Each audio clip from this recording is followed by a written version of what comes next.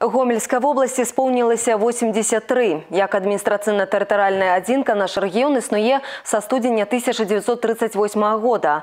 Першапачаткова на яго тэрыторыі былі створаны дзве вобласці: Гомельская цэнтрам у Гомелі і Палеская цэнтрам у Мазыры.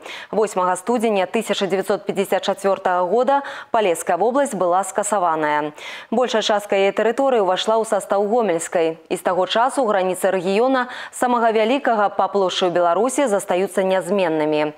Пра асаблівасці нашага рэгіёна, гісторыю, культурныя традыцыі, дасягнення распавядае фільм «Гомельшына. Унікальны край».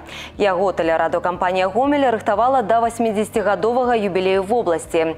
Глядзіце фільм на тэлеканале «Беларусь-4 Гомель» сёння ў 20 гадзін 25 хвілін. Варта азначыць, што і мінулыя з юбілейнай даты тры гады былі азначаны шэрагам буйных поспехаў і адкрыццяў.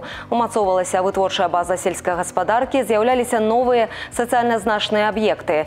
Сярод іх паліклініка ў гомелі, дзіцячыя сады і школы, дамы культуры і спартыўныя комплексы па ўсім рэгіёне. І, канешне, сапраўдныя сімвалы суверэнітэта Беларусі. Мемарыяльны комплекс Ала ў Светлагорскім раёне і 60метровы флагшток на плошчы Леніна ў абласным цэнтры.